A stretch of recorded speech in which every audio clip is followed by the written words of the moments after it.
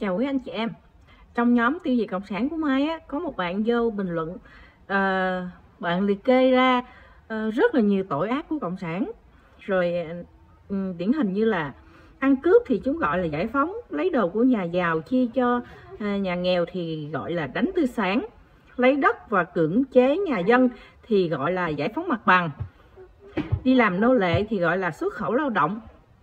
Mai có vô trang cá nhân của bạn này xem thì à, mai thấy là bạn nó chống cộng đó và cũng hiểu được tội ác của cộng sản đó. Mai thấy bạn liệt kê rất nhiều, xong cuối cùng mai nói, vậy cuối cùng là cách giải quyết làm sao? Có phải là nghỉ học trường cộng sản và không đọc báo cộng sản nữa thì mấy cái mà bạn liệt kê á, mấy cái vấn nạn đó sẽ không còn, đúng không? Tại vì nghỉ học trường cộng sản sẽ không có bị ờ, u mê nữa không đọc báo cộng sản sẽ không bị tim đập và tim những cái sợ hãi vô đầu nữa. Thì là sẽ đứng lên gì cộng sản là mọi mọi chuyện kết thúc. Thì bạn đó lại nói gì nè? Ở Việt Nam không học trường cộng sản thì học ở đâu? Nếu mà bạn này hỏi mai câu câu, câu này á mà của hỏi 50 năm trước á, thì mai còn suy nghĩ một chút. À, nhưng mà hỏi năm 2000 24 là tức nghĩa là có internet đã hơn 30 năm rồi. Từ năm 95 là tổng thống Mỹ đã ký uh, đã ký cho dân dùng internet và cho toàn cầu luôn. Là tính nhiêu uh, có mặt tại Việt Nam là hồi năm 97 trở đi đó uh, năm 2000 đó. Thì tính đến nay là hai mấy ba chục năm rồi và nó hỏi một câu mà không học trường cộng sản học ở đâu. Mà trong khi bạn có biết chữ nha. Mà là phụ huynh. Vậy thì, bạn này thực ra thức tỉnh, nhưng mà thức tỉnh có một nửa à. Mà chưa tới nữa, chưa tỉnh lắm. Tại vì nếu mà bạn này mà thức tỉnh toàn diện á, thì sẽ biết rằng trên online có trường học online thậm chí cho dù mù mù đến mức mà không tìm được cái trường học online nào thì có google. Và bạn này đã biết chữ. Chỉ cần cha mẹ một trong hai cha mẹ biết chữ là đứa con có thể được học rồi đó. Còn không thôi nếu đạo công giáo á, muốn biết chữ á, thì đi vô các sơ và các các linh mục sẽ dạy. Học để biết chữ thôi. Rồi lên google rất là nhiều thứ để học có nghề trên Google Google rất nhiều người làm YouTube rồi làm nhiều cái để mà mình học. Học kỹ năng sống. Thậm chí mai nè mai học chụp hình cũng trên Google chứ đâu. Mai đâu học trường lớp uh, sân khấu điện ảnh đại học gì của cộng sản đâu. Tại sao mai biết chụp hình? Rồi uh, mai biết nhiều thứ. Là trên Google chứ đâu. Rồi mai sống đến giờ này cũng có sao đâu vẫn tốt đẹp đó thôi đó, thứ nhất là khi mà nói không biết học ở đâu á, là mai biết là thức tỉnh không toàn phần rồi. Và vẫn có cái ờ, có cái suy nghĩ là nương nhờ nương nhờ trường cộng sản.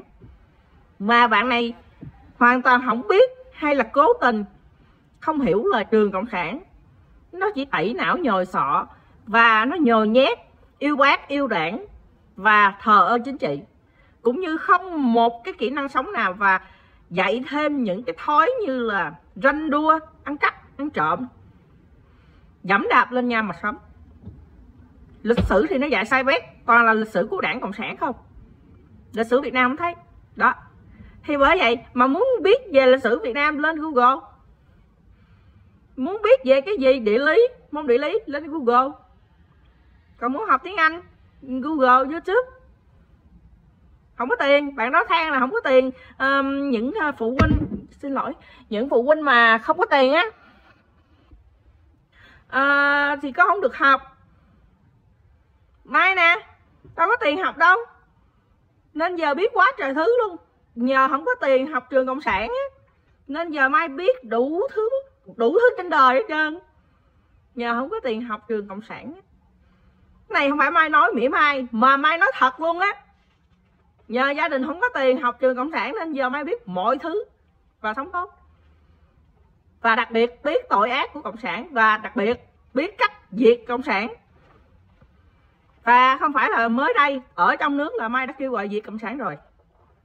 Thì à, rồi nó, nó đây là một một câu hỏi nữa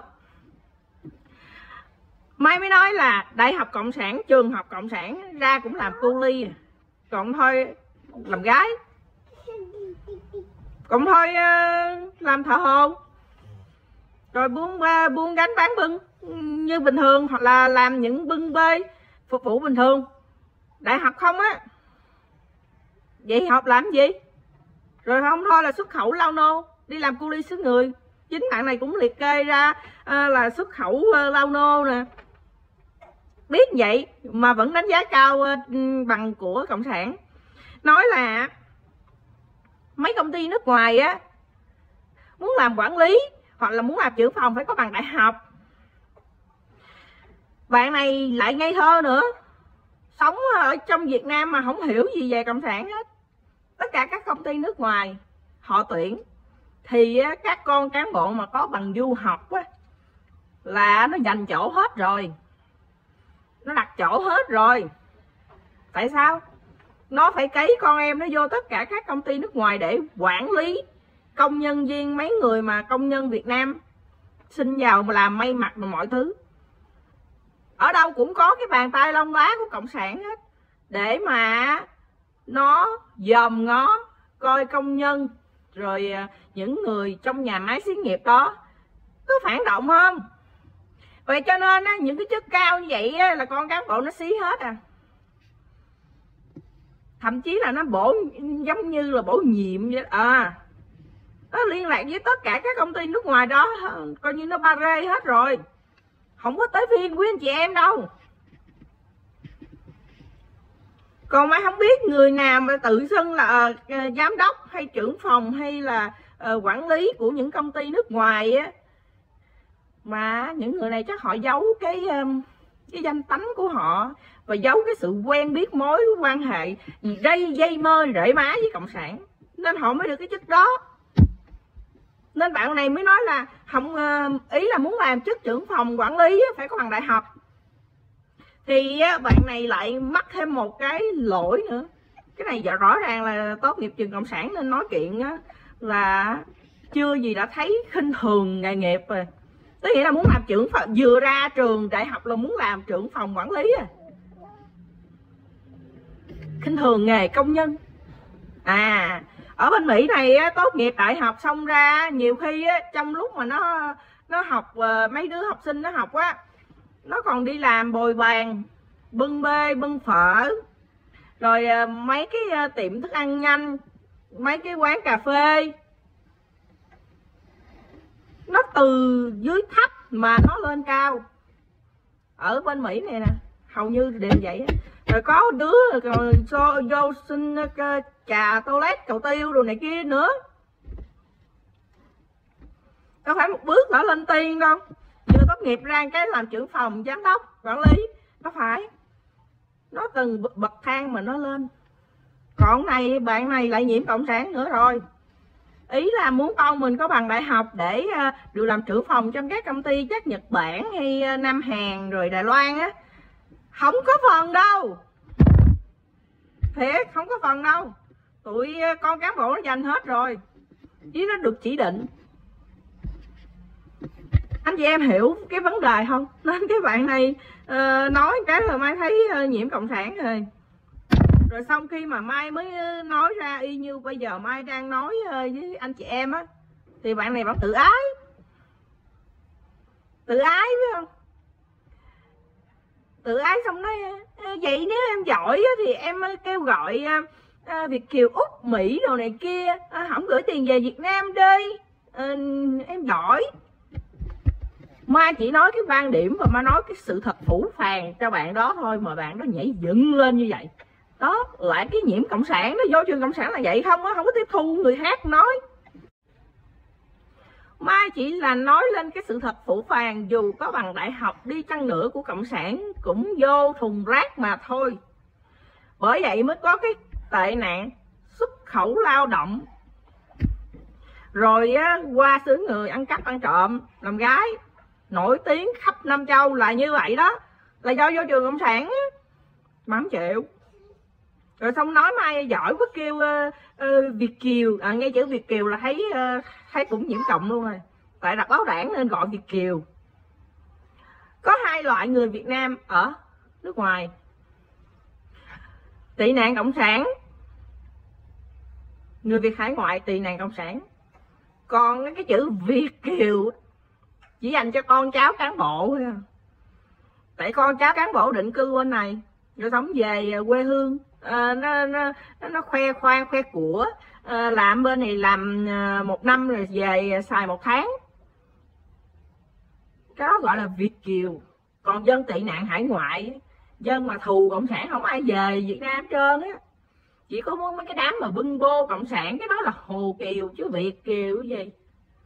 Đó, nói chữ việt kiều nói cũng sai không dùng từ của, của cộng sản là sai bét rồi rồi nói mai là giỏi, ý mai là không chấp nhận những gì bạn đó nói, ý là không chấp nhận cái bàn cộng sản á. thì ý là giỏi thì ý mai là ngon ngon thì kêu ờ, việt kiều úc mỹ đâu đừng gửi tiền về thì đang kêu đó. Cái vấn đề á, mai kêu là quyền của mai, làm hay không là quyền của họ. Họ không làm không có nghĩa là mai dở, mà họ làm thì cũng không có nghĩa là mai tài giỏi mà là, nếu họ nghe những lời mai kêu gọi họ làm, là vì họ yêu Việt Nam. Và vì họ thương người dân Việt Nam. Còn họ không làm là vì họ sống ích kỷ và họ chỉ biết bản thân họ. Họ vẫn gửi tiền về Việt Nam, họ vẫn du lịch Việt Nam. Họ cứ làm ăn với cộng sản. Thì họ này á, không có nói lên cái giỏi cái dở của mai. Mà là, họ không có yêu dân tộc Việt Nam nên họ mới cư xử giống như là không phải chuyện của họ. Nên họ cứ tha hồ gửi tiền về Việt Nam, tha hồ về Việt Nam du lịch. Giống như mấy con hài nô, cano ở bên này cũng tha hồ về Việt Nam hát đó là những đứa không có trách nhiệm với quê hương đất nước. Nó đâu yêu Việt Nam, đâu yêu bản thân nó không à. Những đứa mà bị cộng sản nó tiêm độc vô đầu là nó sẽ về Việt Nam, nó làm mấy cái trò có lợi cho cộng sản. Mà cái điều đó sẽ không nói lên cái sự giỏi hay dở của mai. Bây giờ mai kêu gọi bất tuân nhân sự. Ai làm thì không phải mai giỏi, mà là những người đó họ nghe lời kêu gọi của mai vì họ nghĩ là hợp lý, đúng. Và có thể là bao nhiêu năm qua họ không nghĩ ra, nhưng vô tình nghe mai nói, họ mới nghĩ ra thì họ sẽ làm mà cái cách kêu gọi bất tuân dân sự không gửi tiền về Việt Nam, không đọc báo đảng, không du lịch Việt Nam này kia, không phải của Mai. Mà của nước khác, họ đã thành công trong cái công cuộc lật đổ độc tài rồi. Nên đây không phải là công của Mai. Nên Mai không có giỏi mà Mai cũng không dở luôn. Nếu mà bá tánh không làm, thì dân Việt Nam vẫn nô lệ với cộng sản vẫn tiếp tục vô trường cộng sản vẫn đập báo đảng thì vẫn nô lệ cho cộng sản thôi. Vẫn không có một cái an sinh phúc lợi gì như người mỹ cả. Vẫn phải uh, uh, đi vô thùng đông lạnh trốn sang anh đi nước nào thì trốn nước đó nhưng mà sắp tới các nước sẽ hạn chế visa không cho người Việt Nam nhập cảnh nước người ta nữa. Cho dù là du học hay là du lịch luôn anh chị em thử thử thử sang uh, ờ, thời gian trả lời những lời mai nói đúng không? Tại vì với cái nền giáo dục của cộng sản với sự cai trị mà không có một phúc lợi an sinh nào mà cai trị theo cái kiểu cai trị nô lệ của cộng sản á là các nước họ không quan nghênh người Việt Nam nữa. Thì đến lúc đó anh chị em sẽ thấy rất tồi tệ còn tù túng hơn hiện giờ. Nên nếu như không vì cộng sản thì sắp tới người dân trong nước chính thức ở tù. Thì cái đó liên quan gì đến mai?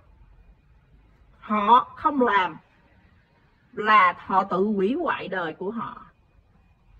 Còn họ làm là họ tự cứu vớt lấy bản thân họ và người dân cùng số phận. Trong đó có gia đình, bạn bè, đồng nghiệp của họ. Và con cháu của họ họ hưởng cái liên quan gì đến mai? Mai bây giờ định cư mỹ. Là công dân của mỹ, con cái mai cũng vậy. Nhưng vì cái tình còn sót lại với bạn bè và thân nhân còn kẹt lại, nên mai lên đây, mai kêu gọi. Dĩ nhiên bạn bè thân nhân của mai thì họ làm rồi, chứ phải không. Nhưng mà một một một số người, một số nhỏ người làm thì sẽ không hiệu quả vậy cho nên mai cứ nói đi nói lại, bàn đi bàn lại. Và cái trang của mai á, nó bị khóa rất nhiều lần. Tám cái tám cái chương mục còn có hai thôi. Nên á, cái trang của mai không bao giờ phát triển được. Là do mà dở hả? Không phải. Là do do cộng sản nó giỏi. Và do dân việt nam của mình dở. Chứ không phải do mai nó giỏi là tại vì biết sao không? Dân việt nam cúng tiền cho nó, đóng thuế cho nó, gửi tiền đô cho nó, làm từ thiện, hút rác cho nó, ăn nhậu quán xá của nó. Đó, nghe lời nó đi xuất khẩu lao ngô. Có phải lỗi tại mai. Dân việt nam cúng tiền cho nó nên nó có cái tiền để mà nó triệt hạ cái tiếng nói của mai. Rồi mai có thiệt thòi gì không? Không. Không hề mà không hề thiệt thòi bất cứ cái gì cả. Mỗi lần mai lên đây mai tốn 10 hay 20 phút trong vòng một ngày 24 tiếng của mai. Có là bao đâu. Thay vì mai uh, coi phim hay là uh, nằm ngủ. Nhưng mà mai chích cái thời gian đó. Mai là mai làm điều này là cho bạn bè cho những người sót lại những người con kỷ niệm với mai trong vòng 38 năm mai sống ở Việt Nam nên đó là cái tình nghĩa sót lại mà mai cố gắng lên đây. Chứ còn nói những cái trang của mai mai mở đến đâu nó xóa đến đó, làm sao mai kiếm được tiền? View được nhiêu? Đâu có được khi đâu kiếm được tiền đâu. Facebook với youtube nó chặn ờ, kiếm tiền luôn rồi. Video của mai hoàn toàn không có không có đồng bạc nào hết trơn á. Vậy cho nên mai không giỏi mà mai cũng không dở nữa, mai chỉ nói thật thôi. Và mai nói dùm cho bạn bè và người thân còn kẹt lại ở Việt Nam. Họ muốn đồng bào Việt Nam cùng họ làm những cái để khiến cho cộng sản nó biến mất. Nhưng mà họ không thể thì mai giúp họ.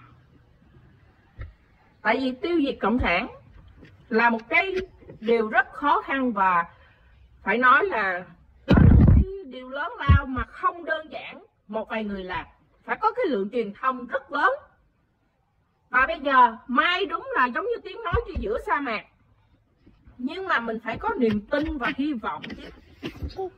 Mình không có niềm tin, không có hy vọng và không không tin vào bản thân của mình. Không tin vào gia đình và bạn bè, những người chung cái quan điểm với mình. Thì mình sống làm gì? Sống như thế nào? Sống nguyền rủa bóng đêm hả? Đó là ý của cộng sản. Nó muốn mình nguyền rủa bóng đêm và nó muốn mình bỏ đi hết tất cả. Con, lấy điện thoại nè, thôi thôi. Nó lấy điện thoại mà. Rồi, cho con nè. Nếu mà sống cái kiểu mà nguyền rủa bóng đêm không làm gì cả là theo ý cộng sản rồi. Nhưng mà mai kêu gọi bất tuân nhân sự nghĩa là không theo ý cộng sản. Vậy cho nên dù đóng bao nhiêu tài khoản y xin lỗi bao nhiêu chương mục thì mai vẫn lên tiếp tục. Là tại vì nếu mà mai bỏ luôn á là đúng ý cộng sản rồi. Và cộng sản á, nó đụng nhầm người rồi. Đụng nhầm người rồi. Nó đụng nhầm người rồi. Nó làm ai tuyệt vọng chứ mai thì không. Còn cái bạn đó về cho con mình học online đi. Về tẩy là cái não của mình đi bớt đọc báo đảng đi. Thì á, bạn sẽ thấy nghề nào cũng tốt cả không cần làm trưởng phòng quản lý làm gì. Nghề nào cũng được tôn trọng quý trọng. Đừng có nhiễm cái tánh của cộng sản mà uh, một bước mà lên tiên không hề có chuyện một bước lên tiên mình học ra trường mình phải làm nhiều thứ để mình có cái kinh nghiệm càng nhiều kinh nghiệm, càng tốt tốt cho bản thân mình. Thậm chí mình làm nhiều ngành nghề cũng càng tốt nữa. Nếu mà không may mắn làm được cái nghề mình yêu thích, thì mình làm những cái nghề khác để học hỏi. Học hỏi thêm cái kiến thức của những ngành nghề khác nhau, sau này dạy cho con cháu mình có sao đâu. Nghề nào cũng có ích trong xã hội hết đó giống như ờ, chẳng hạn như ờ, có những nghề như y tá hay điều dưỡng bên này, nước mỹ con lắm nhưng mà phải tắm cho người bệnh nè hốt cức cho người bệnh nè. Ói mửa rồi này kia. Thấy không? Nếu mà không có những người làm những cái ngành nghề đó, thì làm sao bệnh nhân được thoải mái? Và bạn sống bạn có chắc ờ, bạn sẽ không bao giờ bệnh không? Thấy không? Bởi vì phải tôn trọng những cái người mà làm những cái ngành nghề như vậy, hoặc là hút rác chẳng hạn, hay là lau chùi toilet vệ sinh chẳng hạn họ không có những người như vậy. Thì làm sao đường phố và những cái nơi uh, mà phục vụ được sạch sẽ? Ai cũng đi làm uh, kỹ sư trong phòng lạnh hết á, thì những ngành nghề khác làm sao? Rồi ai ra đồng để mà làm thức ăn? Rồi ai xuống biển để mà làm để mà bắt hải sản cho mình ăn? Đúng không? Ừ, tại, sao nhất thiết phải cầm cái bằng để để để được làm quản lý trưởng phòng? Ừ, vậy tức nghĩa là khi dễ cái nghề may mặc công nhân của người ta hả? Đó nhiễm cộng nữa rồi. Đó. Thật thật xui á cho như đứa bé nào có cha mẹ phụ huynh là cái bạn này bạn này nhiễm cộng rồi thì chắc chắn con cái của bạn này là bị vô trường cộng sản học bị nhồi nhét rồi. Chứ bị bạn này dạy là ừ, phải làm trưởng phòng phải làm chức cao như con. Vậy là không tốt rồi ngày nào trong xã hội này cũng đáng quý hết. Đừng có ăn cướp là được rồi. Cái này mới chân thành nhân cái cái cái bình luận của bạn này mà mới nói thiệt luôn đó. sống ở mỹ thì sẽ thấy ngành nghề nào cũng đáng quý hết và cũng quan trọng trong cái hành tinh này hết. Chúng ta giống như là sống mà không thể thiếu nhau vậy. Tất cả mọi người phải cùng sống và coi như là, giống như là không thể thiếu nhau. Là như vậy đó. Chứ không phải là giống như vô trường cộng sản là phải đi ra làm kỹ sư, bác sĩ, luật sư đồ này kia. Trời đất mẹ ơi, nó vô trường cộng sản phải dạy vậy không à dạy trèo cao. Mà không dạy thực tế, là không thể thực tế xứ cộng sản á. Bằng đại học, cũng chỉ làm xe ôm thôi, xuất khẩu lâu nô, còn thôi vô nhà hàng làm đi ôm, hết rồi còn thôi thì đi buôn bán gánh bưng. Hết rồi. Còn nếu mà trèo cao nữa hả? À, cặp kè cán bộ để được chức cao. Là tức nghĩa là mấy cái đứa mà không có trong hệ thống cộng sản đảng viên á thì phải quỳ gói lon chôn nằm nửa nằm nghiêng. Đó đó là cái thực tế của xứ cộng sản. Đâu có được như xứ tư bản đâu đâu được chọn lựa.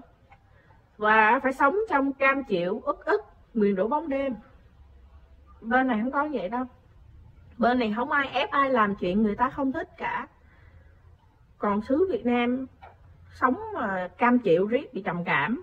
Trầm cảm riết rồi sinh ra bệnh giống như bệnh tâm thần. Hỏi chút một cái là làm hại người khác. Còn thôi làm hại bản thân. Đó, là vậy đó quý anh chị em. Vậy nên đọc báo đảng, vô trường cộng sản sẽ sinh ra rất nhiều người bị bệnh tâm thần luôn do đó nó dạy tầm bậy tầm bạ riết thần kinh không có bình thường luôn.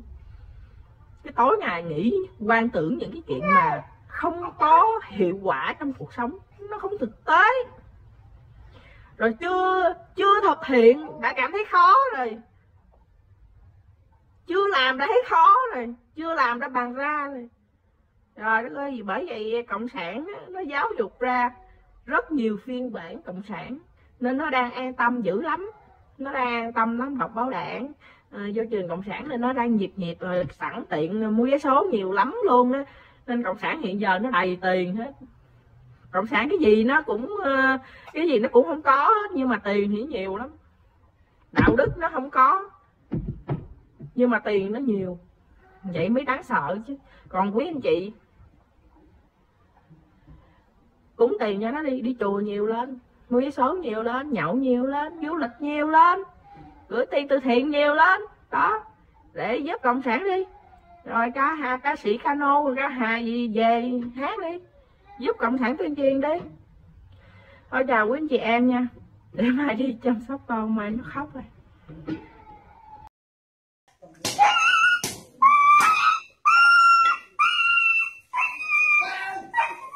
Chưa chết, đã đập đúng đầu đâu. không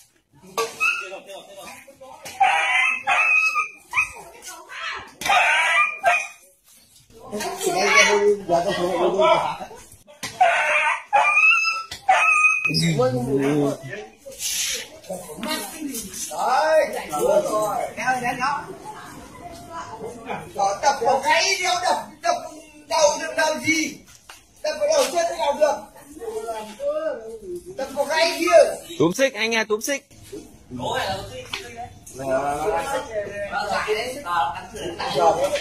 Ông tổng qua chưa?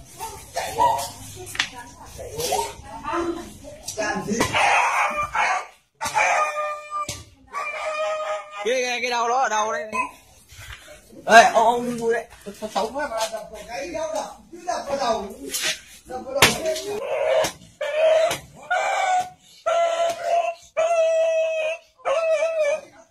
số mày không không chết nhưng mà mày đúng đấy gáy đập mãi đập bao nhát mà không chết lại chồng nó rồi chạy rồi chạy rồi chạy rồi. Đập chưa? Đập con nhát chết luôn?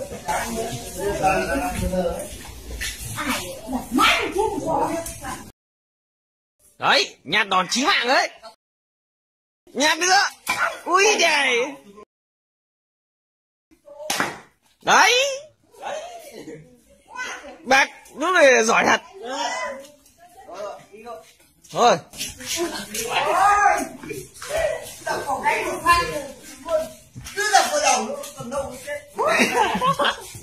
Nói này thôi.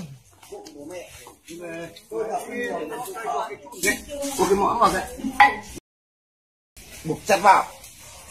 Mấy vòng vào? Một một nhát nữa thôi. Vòng nữa. Thế thôi. Thế thôi, không nên. Đây. Lấy dao. Chọc.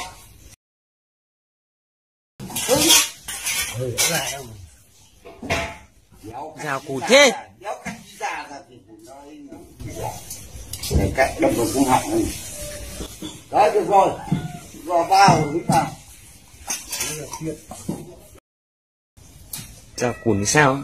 Nghiêng nghiêng ra đấy.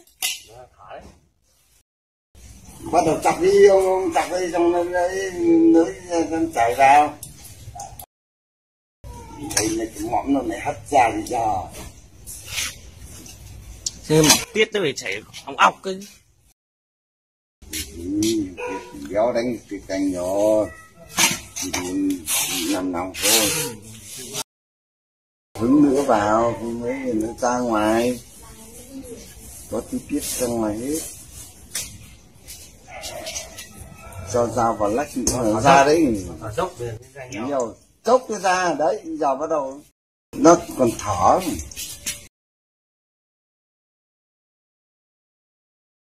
nó còn thở